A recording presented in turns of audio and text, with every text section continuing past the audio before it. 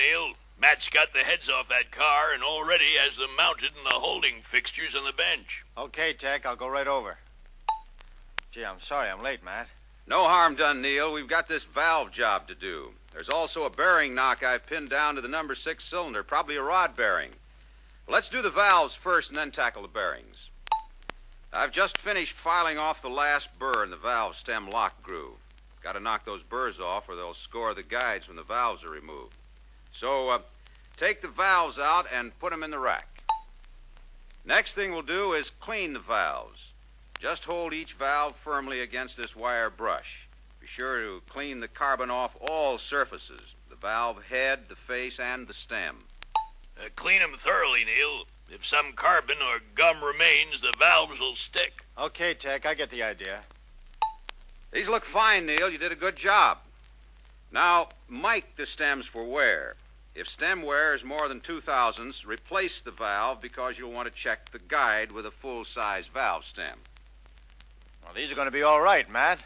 Nothing over two thousandths. Good. Valve guides, remember, are integral with the head in all our current V8 engines. Before we can inspect for guide wear, the carbon and varnish in them must be cleaned out.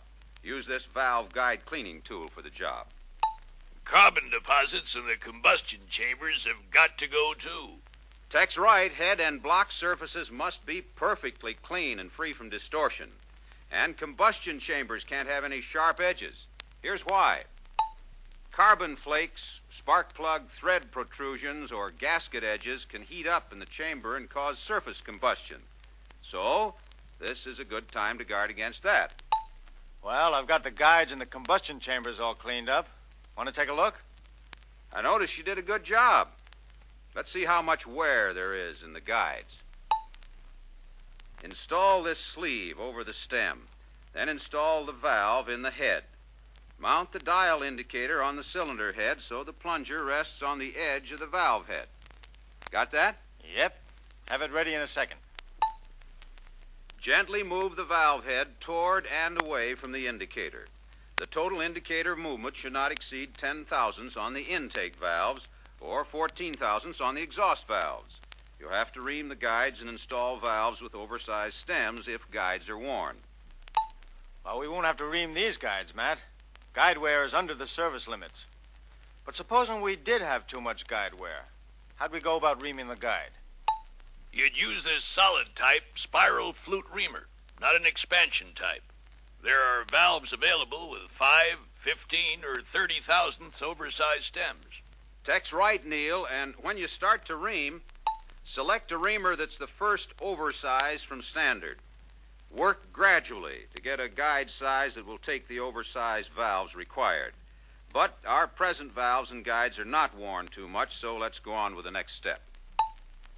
Refacing the valves calls for a refacing machine that's in good condition. The valve chuck bearings must be good so the chuck runs true. The wheel must be dressed until its surface is smooth and true.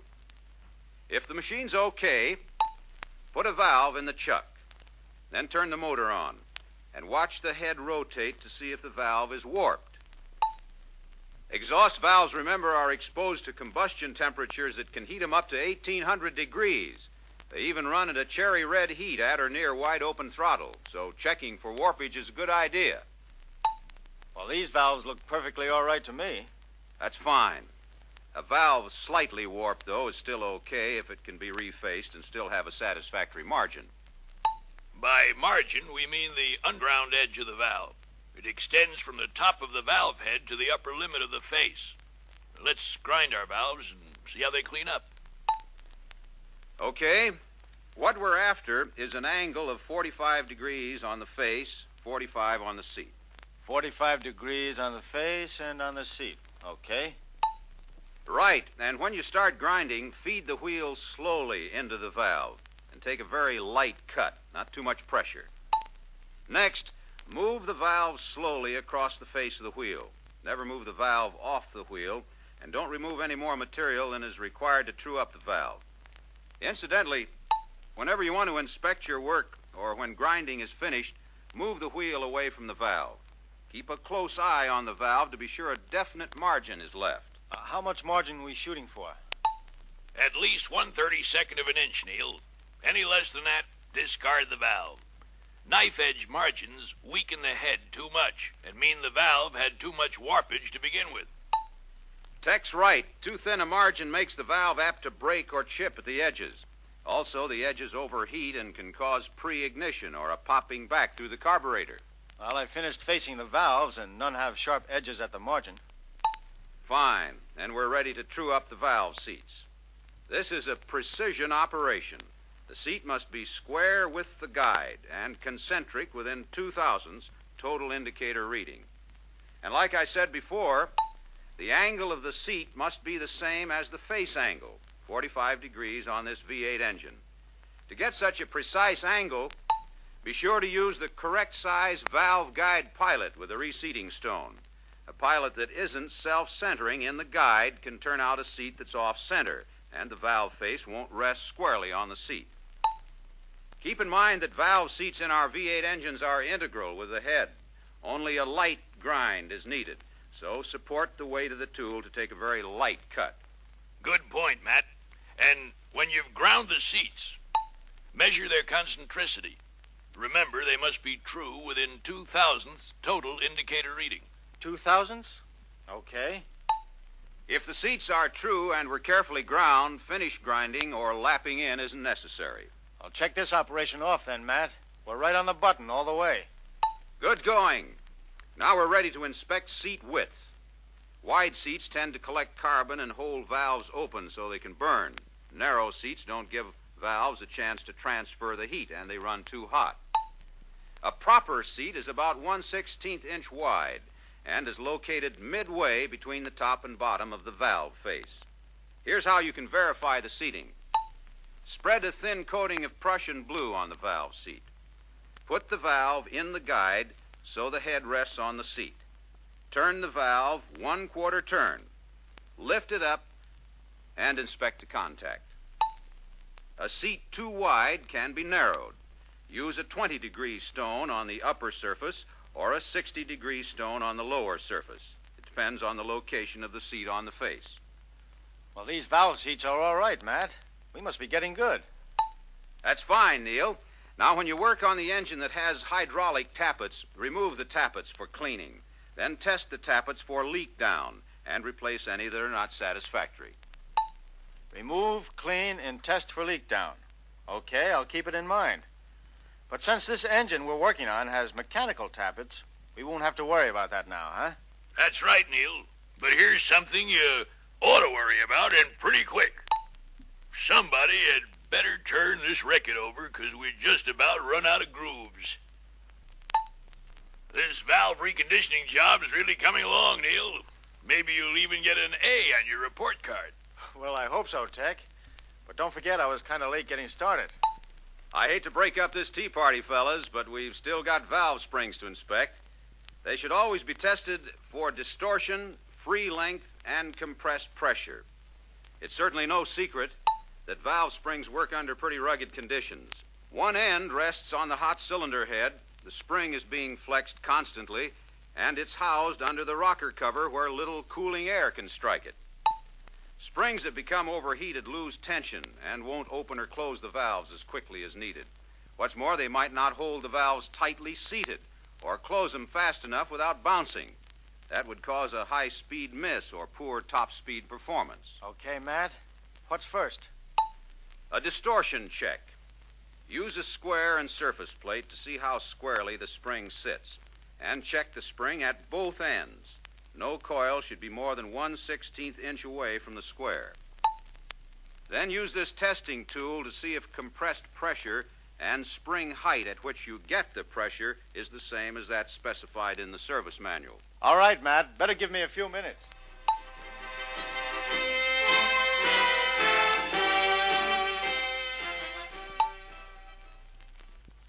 Only two springs lost tension and needed replacement, Matt.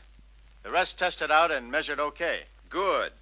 Use compressed air to clean off the cylinder heads. Then coat the valve stems with oil and install each valve in the guide from which it was removed.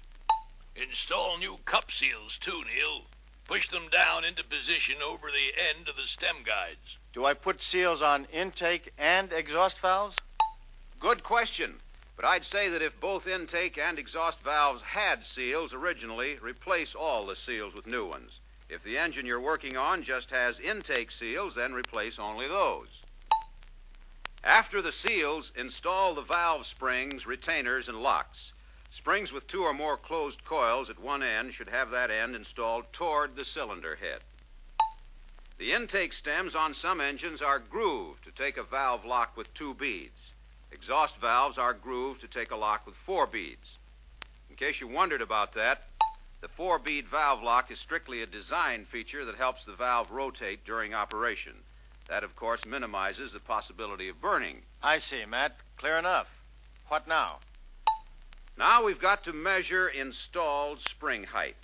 Measure from the bottom of the spring seat in the cylinder head to the bottom of the valve spring retainer. Look up the installed spring height measurements in the service manual. If your measurement is too high, install a 1 16th inch spacer in the head counter bore. If spacers have already been used, make your measurements from the top of the spacer. Got it? I read you, Matt. Over and out. Installed spring heights are all good, Matt. Fine. We always test for installed height so we'll be sure that the spring in operating position will have proper tension to do its job.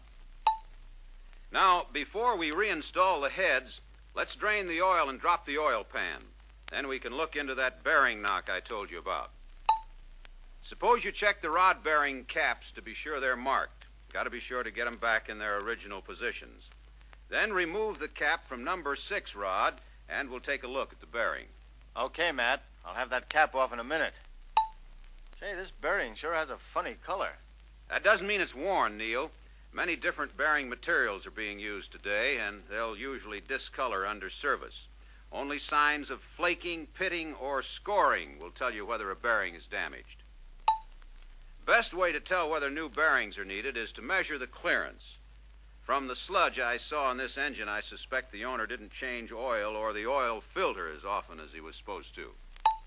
You can use a small piece of one thousandths brass shim stock, or the Plastigage method for measuring clearance, Neil. But wipe the connecting rod journal, cap, and bearings clean first. Details on both measuring methods are in this reference book. I'll look it over, Tech. Thanks. We'll probably have to install a new pair of standard bearings to bring number six up to clearance specifications. Before you do that, though, mic the connecting rod journal. It shouldn't be tapered nor out of round more than one thousandth. Well, it's under a thousandth, Matt. Guess we can install the new bearings.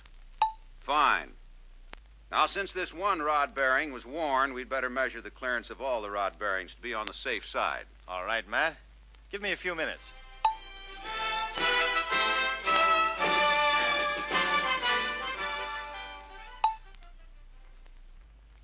We put in a new set of standard size bearings in all the rods, Matt. We also made sure the tabs on the bearings lined up with the grooves on the rods.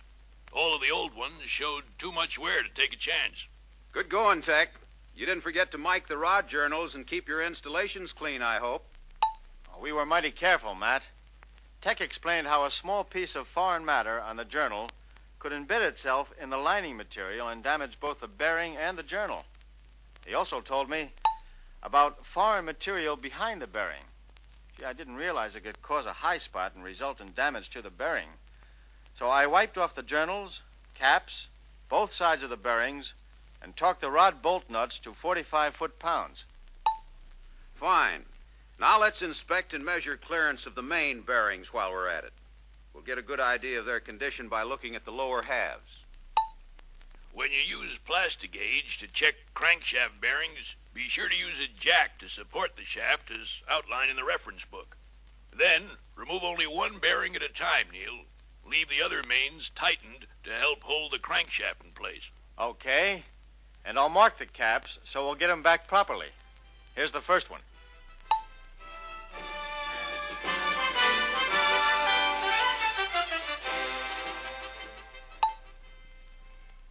Well, main bearing clearances were well within specifications. They've got plenty of service left. This owner won't have to pay for a new set of mains. Let's be sure our main bearing caps are tightened to 85 foot-pounds. After that, Let's change the oil filter element. Then we can go ahead and reinstall the oil pan. Next, we'll check the oil return holes to see that they're not plugged. In addition, we'll check water passage openings in the heads and block to see that they're not clogged. When we install the heads, we'll use new gaskets, of course. Coat them with sealer before you install them. And before you reinstall the heads, inspect the ends of the rocker arms for wear. Replace any that are worn. Adjusting screws should have a minimum torque of 18 inch pounds or they'll back out and increase the clearance. If you can't get that torque, the adjusting screws and possibly the arms should be replaced. And as you install the heads, rocker arm brackets, and arms, use this torque wrench to tighten the head bolts in the proper sequence and to correct torque specifications. When you've drawn down each bolt, go around once more and get a second torque reading on each bolt. Proper tightening is mighty important. All right. I'll recheck them all. Fine. Inspect the push rods next and replace any that are worn or bent. Then install the push rods with the small ends toward the tappets and slide the rocker arms over the push rods. When you work on an engine with hydraulic tappets, you torque the head bolts down in proper sequence. Then you install the rocker arm shaft brackets and tighten their hold down bolts to 30 foot pounds torque. Hey, wait a minute, Buster. You forgot one critical point. When you tighten those hold-down bolts, you got to allow time for hydraulic tappets to bleed down to normal operating length. Oh, my gosh, yes. If you tighten those bolts too quickly, you can bend the push rods and even belly out the tappet bodies. Then the engine will really be noisy. Okay, Matt. I'll watch that on hydraulic tappet jobs. It's a good idea, Neil. Now, on any engine, be sure to tighten down the manifold stud nuts evenly, as well as the head bolts. Many a valve job is spoiled by careless tightening. Here's another tip. Install and properly tighten new spark plugs of the correct type for the engine being worked on. All new parts, in fact, should be factory recommended. Don't let a good job fall short because plugs or parts you're not sure of are installed. Very clear. Now, what else do we have to do? Well, we've changed the oil filter, so let's put in the proper amount of fresh MS oil along with some break-in oil. Run the engine at slow idle long enough for the oil and coolant to reach operating temperature. Then, on engines like this with mechanical tappets, adjust intake tappet clearance to 10 thousandths, exhaust to 18 thousandths. As a final step, we'll take the car out on the road and see how well we've done the valve and bearing work. No need to worry about this car, Matt. I think you and Neil did a very thorough job.